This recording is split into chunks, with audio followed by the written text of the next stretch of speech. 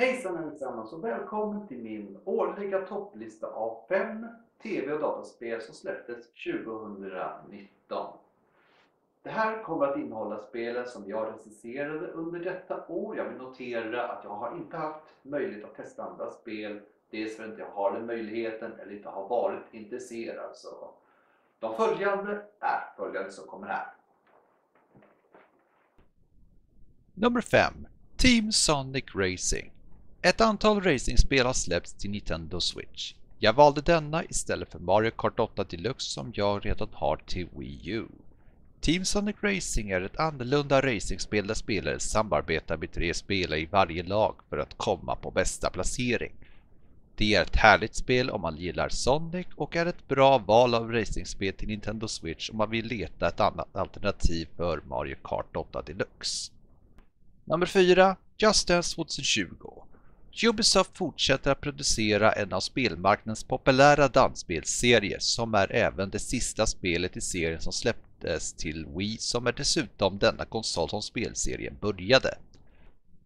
Det var också 10-årsjubileum för spelserien som har ett spelarläge där man spelar låtar från tidigare spel och låser upp en låt.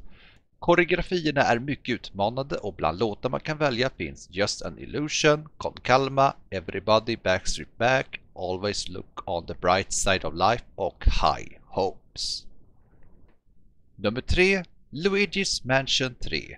Återigen jagar Luigi spöken som har fångat hans vänner i ett hemsökt hotell. Gillar man Ghostbusters kommer man att gilla detta spel som har charmiga miljöer där Luigi besöker våningar med olika teman där man ska fånga mäktiga spöken och knappar som tar spelaren till en annan våning.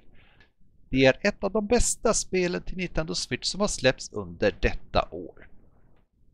Nummer 2. Call of Duty Modern Warfare. En reboot av Modern Warfare-spelen som släpptes mellan 2007 och 2011. Spelet möttes av jubel från spelet till skillnad från utvecklaren Infinity Wards tidigare spel Call of Duty Infinity Warfare som var inte så omtyckt när spelets trail blev en av de mest ogillade video på Youtube 2016.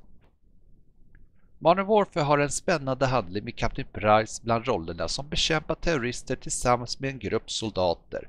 Spelsgrafiken är förbättrad, har många val i spelets multiplayer och är det första spelet i serien som stöder crossplay. Nummer 1. Shenmue 3 En av de mest efterlängtade uppföljare som var planerad efter lanseringen av Shenmue 2 som lade ner planerna. Spelskapare Yu Suzuki bestämde att använda Kickstarter som en lösning att producera Shenmue 3 som utannonserades på E3 2015.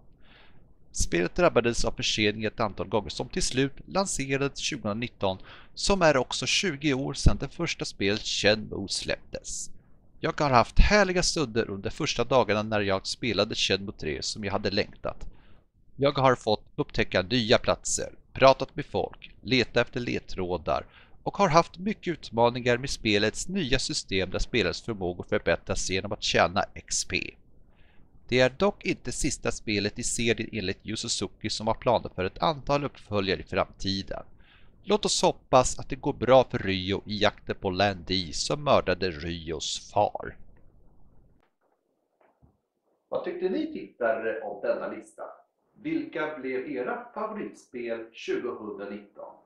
Jag hoppas att det här har varit ett bra år för tv och dataspel och se gärna mina andra topplistor och vi ses på återseende. Hej då!